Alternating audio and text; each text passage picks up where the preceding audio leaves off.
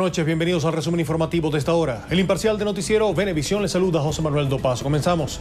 El superintendente de Precios Justos, Andrés Eloy Méndez, informó que desde el primero de noviembre tomarán medidas contra los buhoneros que vendan medicinas, alimentos y productos de higiene personal. Méndez destacó que solo podrán vender textiles, calzado, artesanía y bisutería. Informó también que estudian el nuevo precio de la harina de maíz precocida. Los parlamentarios de Primero Justicia aseguran que no aprobarán el presupuesto presentado por el gobierno para el año 2015 por considerar que no garantiza los sueldos de los trabajadores.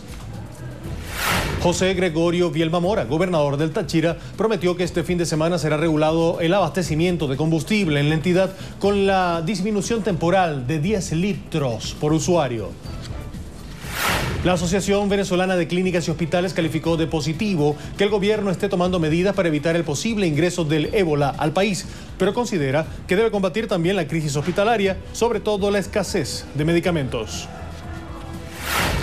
El Ministerio Público acusó a ocho hombres por presuntamente estar incursos en el contrabando de 6.000 litros de combustible en Del Tamacuro. Carlos Salazar, presidente de la Asociación de Licoreros de Caracas, garantizó la venta de productos para la temporada navideña, aunque con una variedad reducida.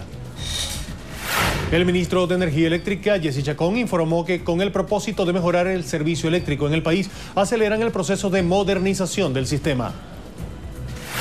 Trabajadores del sector eléctrico agrupados en FETRAELEC protestaron este miércoles ante posible cierre de la única escuela especializada en formar mano de obra para el sector. Fue publicada la primera convocatoria del Comité de Postulaciones Electorales para que organizaciones sociales inscriban a sus candidatos para sustituir a tres rectores.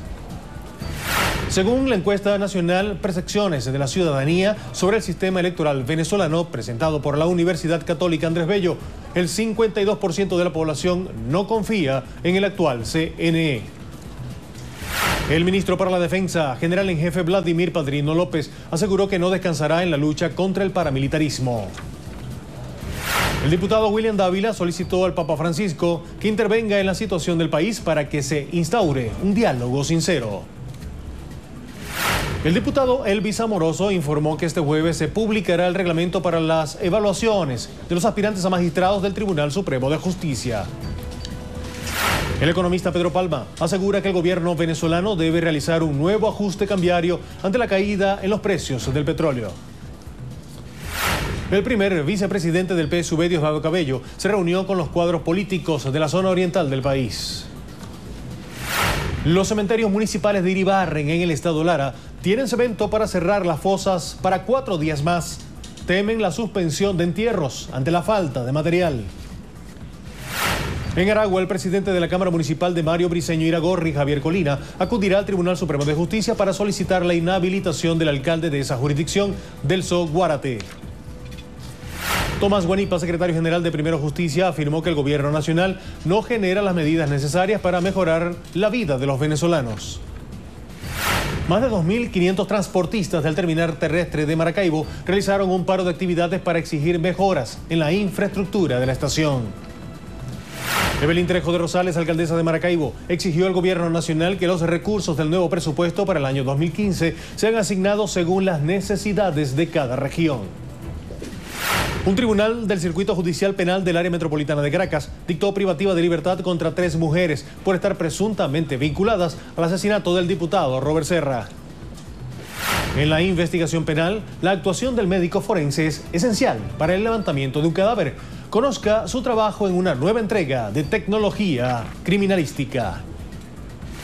Cuatro muertos y cuatro heridos dejó un choque frontal entre una van y un camión en la autopista regional del centro. En Caracas, un hombre de 27 años fue asesinado en la avenida Urdaneta frente a Plaza España por una pareja de motorizados. En Cumaná, un hombre resultó abatido al enfrentarse a la policía del estado Sucre luego de ejecutar un robo a un local comercial. El 6CPC capturó a Andrés Ramón Gutiérrez, presunto autor material del crimen de la educadora Aura Miriam Bolívar, cuyo cadáver fue localizado en Los Teques.